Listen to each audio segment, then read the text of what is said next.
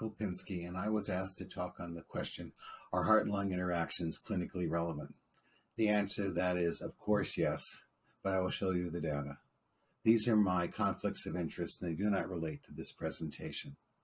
Let's start with the fundamental reality. Breathing is exercise, and the number of studies that have shown that breathing puts an increase in cardiovascular stress on human beings is too numerous to mount. If you have a person in heart failure and you're trying to wean them off ventilation, they have gut ischemia as shown by a fall in the PHI, whereas normal people will not have a form of gut acidosis. The people who eventually fail start off on the ventilator with a low value, but it goes down to levels of gut pH that are so low they're equivalent to cardiogenic shock. Similarly, um, Amal Jubran showed that in the weaning, weaning success people could increase their cardiac output such that their mixed venous O2 sat did not change, whereas people who could not maintain enough blood flow to meet the metabolic demands of exercise associated with weaning had a progressive decrease in SVO2 to levels significantly similar to those of hemorrhagic or septic shock. Exercise is the limitation, it is the big fish. Weaning is also a cardiovascular stress test. If people have a great work cost of breathing, it's been shown in numerous studies that they develop LV dysfunction and myocardial infarction. One of the prettiest studies was done many years ago by Francois Lemaire and the group at Créteil with uh, Jean-Louis Teboul. And what they did is take COPD patients and put them on the ventilator. And what you can see here is when they were breathing spontaneously, their esophageal pressure became negative and they had profoundly negative swings in intrathoracic pressure as they struggled to breathe. By nine minutes, they were having agonal respirations. But if you look at the pulmonary artery occlusion pressure, it started around around 18 or so. But at five minutes in, it went up to 20, I'm sorry, to 40, which is very, very high and up to 45, which is not compatible with life. And at the very end, where you see the pressure falling, I asked Francois what happened. And he said, We had to put the patient back on the ventilator or they died. This means that the spontaneous breathing trial will manifest itself as failure to breathe secondary to exercise exhaustion very quickly, and you should not leave the bedside during such a trial. So now let's skip over on the hemodynamic effects of ventilation on changes in lung volume or changes in intrathoracic pressure. If you hyperinflate the lungs or make them very small, they will change their vascular resistance. We can consider that the lung is perfused by vessels that have different outside pressures. They're either alveolar or extraalveolar vessels. The alveolar vessels sense pleural alveolar pressure as their outside pressure, and the extraalveolar vessels sense interstitial or pleural pressure. And remember that the difference between alveolar and pleural pressure is the transpulmonary pressure. They all have the same internal pressure in the vasculature. So as lung volume gets bigger or smaller, the transpulmonary pressure gets larger or smaller proportionately. And if it gets greater than the pressure inside, the vessels will collapse.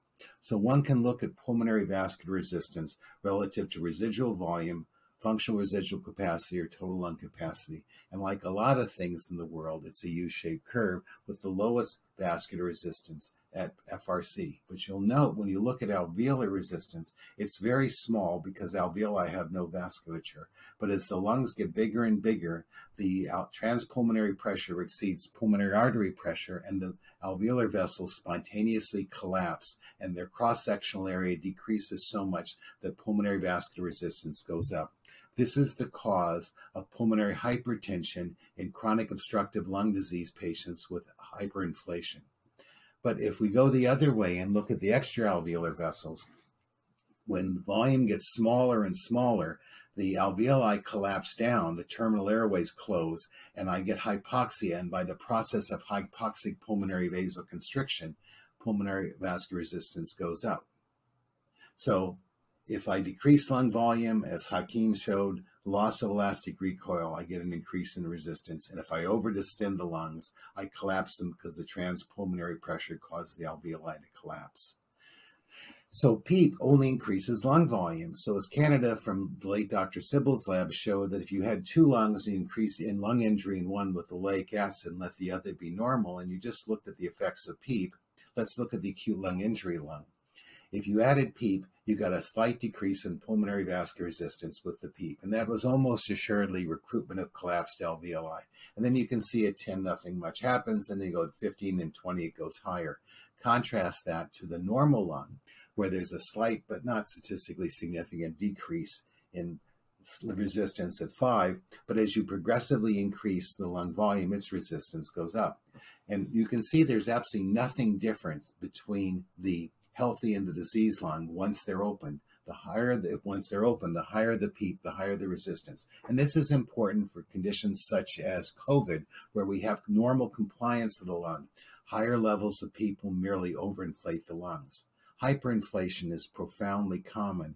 And as John Marini and Pepe showed in their original paper on it, if you just simply take a patient with chronic obstructive lung disease off the ventilator and allow them to deflate, their cardiac output goes up from 2.6 to 4.3 as their wedge pressure and esophageal pressure decrease. The other thing that happens with increases in lung volume is it compresses the heart. The chest wall can go up, the diaphragm is uh, can go down, but the heart is trapped in the cardiac fossa and it must get smaller. And indeed, that was nicely shown in Seattle by the study on ARDS patients in the CT scanner, in which they measured their lung volumes on a cross sectional view at expiration and inspiration of zero PEEP. And I just want to show you this. When you go to 10 of PEEP, look at how much smaller the heart is. Okay, and this is because of decreased venous return and compression of the heart by the increased intrathoracic pressure. This must decrease preload and cardiac output. So let's look at the effects of intrathoracic pressure on the heart. And to do that, we just have to make a simple assumption, and that is the heart is within the chest, a pressure chamber inside a pressure chamber, and thus increases and decreases in intrathoracic pressure must affect the pressure gradient for venous return. So looking at systemic venous return, as you know, the relationship in right atrial pressure and flow shows that in you and I, there's an equilibrium point that is due to a balance of ventricular pump function and venous return. And then during positive pressure breathing, you see that the increase in intrathoracic pressure by increasing right atrial pressure causes venous return to fall. And that would be described in this fashion here. And what people normally do if they intubate a patient for surgery is they then give them fluid so that their venous return curve comes up. But as we saw with Francois Lemaire's group, if you now take that person and extubate them and allow intrathoracic pressure to fall, they will flood their lungs with increasing venous return. Andre Duneau documented the changes in venous return that occurred very nicely with positive pressure breathing in man. As you can see here, looking at the left ventricular area using echo, that there was a profound decrease in preload associated with this fall in venous return. And the greater the tidal volume, the greater the amount of blood that get, leaves the chest during inspiration and comes back during expiration, as Jamie Mosqueda showed in this study in our lab, when you go from 5 to 10 to 15 to 25 ml tidal volumes. The, the good thing for you and I is that we increase lung volume, we descend the diaphragm, and that pressurizes the abdomen. And because of the increased abdominal pressure, this causes the venous return curve to rise, and therefore we mitigate the fall in cardiac output with positive pressure breathing. But consider what happens if you have a person with a, tension, a tense abdomen and you're taking them to surgery and they open up their abdomen their cardiac output will fall precipitously and they need fluids immediately because you've just taken away that stent. Now let's talk about the effects of increased intrathoracic pressure on the left ventricle. And for that, we have to figure out what is left ventricular ejection pressure, which is transmural pressure.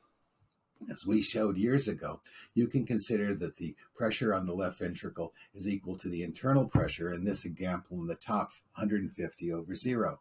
If I simply gave a pure alpha agonist like phenylephrine, I would cause the pressure to go to 200, pleural pressure zero, and everyone would agree that the transmural pressure is 200.